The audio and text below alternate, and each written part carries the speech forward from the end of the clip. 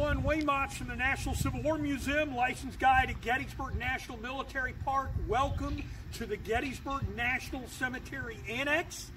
And I want to give you a short story while you're at home.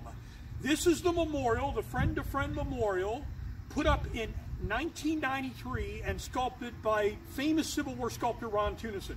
It depicts Henry Harrison Bingham of General Hancock's staff in the Battle of Gettysburg and Brigadier General Lewis Armistead of the Confederate Army mortally wounded in Pickett's charge on July 3, 1863.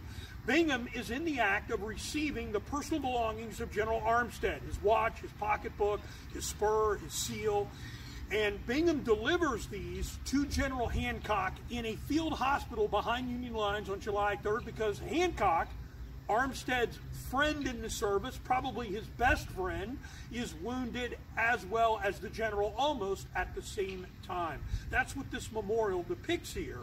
General Armistead will die of his wounds July 5th, 1863. Captain Bingham becomes a congressman from Philadelphia, Pennsylvania for 33 years. He doesn't die until 1912. And of course, General Hancock, Armistead's friend, dies in 1886 at Governor's Island, New York, and is buried in Norristown, Pennsylvania. This story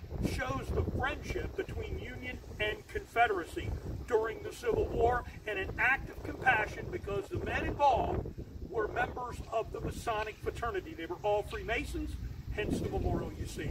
I hope you enjoyed this short story.